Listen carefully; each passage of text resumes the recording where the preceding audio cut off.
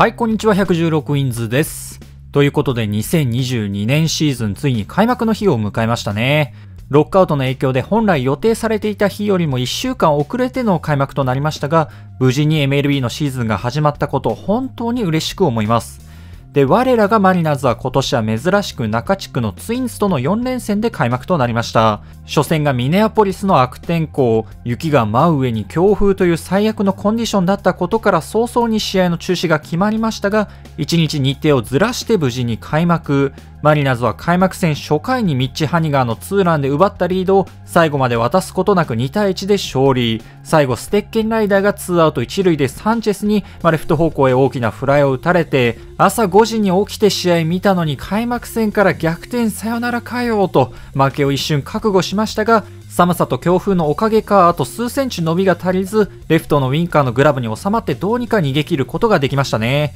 いきなり心臓に悪い実にマリナーズらしい試合展開でした。今日の2戦目も終盤ツインズのバイロン・バクストンに逆転ツーランを浴びて万事休すかと思いきや最終回にトッププロスペクトフリオ・ロドリゲスのキャリア初ヒットをきっかけに打線が繋がって再び逆転に成功し4対3で勝ちましてこれで開幕2連勝となりました。いずれのゲームも1点差を制しての勝利。昨年のマリナーズもとにかく僅差のゲームで強くて、1点差のゲームで MLB 最多となる33勝を挙げていましたが、今年も開幕まだ2試合しかやっていませんが、今のところやっていることは昨年と全く変わっていません。まあ、昨年と変わらぬ強さを見せていると言うべきか、あるいは昨年から何も変わっていないと言うべきかは少し迷うところではありますが、とりあえず敵地4連戦の頭2試合を取れたことは素直に喜びたいと思います。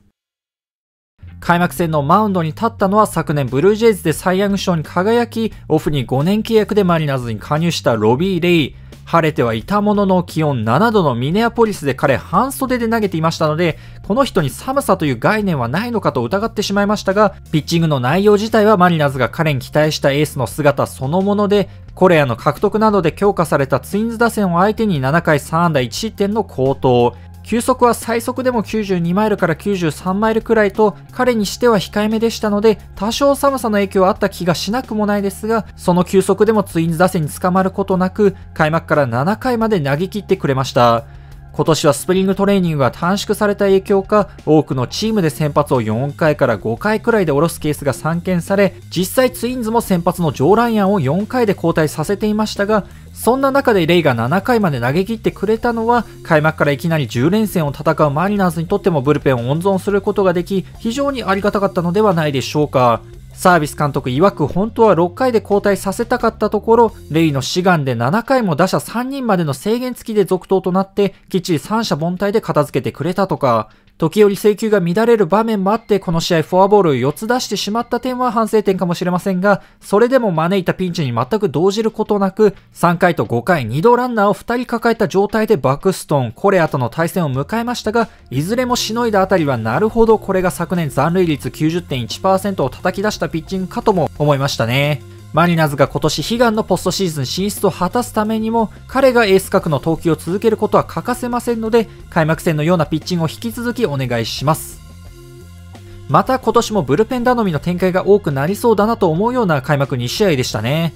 ここまでブルペンは6回を投げて2失点8奪三振。開幕戦は7回まで投げたレイの後、シーウォルド、ステッケンライダーが0で繋いで1点差で勝利し、2戦目は5回で先発のローガン・ギルバートが降りた後、ミセビッチ、ロモ、ムニョス、カスティーヨで繋ぎました。2戦目は1点リードの8回に出てきたムニョスが先頭にフォアボールを与えた直後にバクストンに逆転ツーランを浴びてしまいましたが、あれは正直バクストンがすごかった以外に表現のしようがないですね。高めボールゾーンに近い101マイルの速球を捉えてスタンドまで持っていける選手は、まあ、MLB といえどそう多くはありません。スプリングトレーニングが短かった影響でマリナーズは開幕からしばらくの間、ブルペン陣に連投させない方針を打ち出していまして、また今季トミー・ジョン手術から復帰予定のはずだったジャイルズが中指の怪我で開幕から IL に入ってしまったため、MLB での経験がまだ豊富とは言えないムニョスの序列が上がったがゆえに、いきなりタイトな場面で使わざるを得なかった部分もありますので、あの一本に関してはそこまで気にしなくても良いのかなと100マイルを超える速球を使えたりと才能がずば抜けているムニョスなら、登板機会を重ねるごとに徐々に安定していくと信じていますので、ここは少し長い目で見ることができればなといったところでしょうか。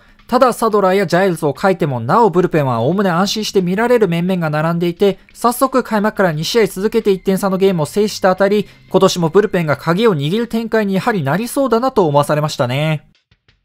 で、投手陣の活躍が目立つ一方で打線はこの2試合はそこまで目立ってはいません。まあ、ミネアポリスが寒すぎたので、それ自体は無理はないのかもしれません。ただ昨年のマリナーズ打線を支えた重要な場面での異常なまでの勝負強さ自体は、もしかしたら今年も健在なのかなとこの2試合思いました。昨年のマリナーズ打線は MLB 最低クラスの打線ながらも、なぜか重要な場面では普段以上の力が発揮されて、そういった場面でのチームの OPS が昨年8割5分3厘でこれは MLB トップ。大事な場面になるとなぜか MLB 最強打線に変貌していましたが、その勝負強さがよく現れたのが今日の第2戦の9回表、先頭のロドリゲスがキャリア初ヒットともなるツーベースでチャンスを演出すると、この後津田と3塁となりますが、アダム・フレイジャーが逆らわずに逆方向へ同点タイムリー、足を使って2塁打としたのもこの後考えたら大きかったですよね。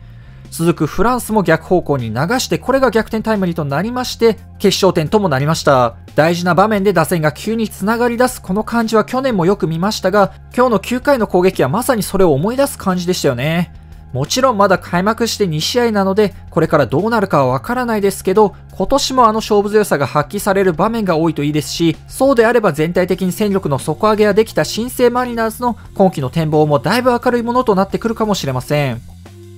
開幕2試合、ある意味らしい形でもぎ取ることができたマリナーズ。しかししばらくの間スケジュールがマリナーズにやや不利な状況が続くため、まずは大きく崩れることなく序盤の戦いを乗り切ってほしいかなという印象です。ロックアウトの影響で開幕2カードをホーム7試合分がシーズン後半に移動となったため、マリナーズは開幕から6月8日までの58試合の間、敵地で実に35試合も戦う日程となっています。この間の試合のうち6割も敵地で試合を行うと、敵地での試合が多いばかりか来月5月は強豪との対戦も多く、スケジュールがしばらくは本当に厳しい状況となっています。5月なんてアストロズと6試合、レイズ、レッドソックスと4試合ずつ、ブルージェイズ、メッツ、フィリーズと3試合ずつですからね。どうすればいいんだって感じの日程ですよ。開幕2試合の勢いでここからも勝ちまくってほしいなと願う気持ちもある一方で、まあこれだけ強いチームとの対戦も控えているわけですから、あまり高望みはしすぎずに勝率5割くらいで、ここを乗り切ることができればまあいいんじゃないのかなと。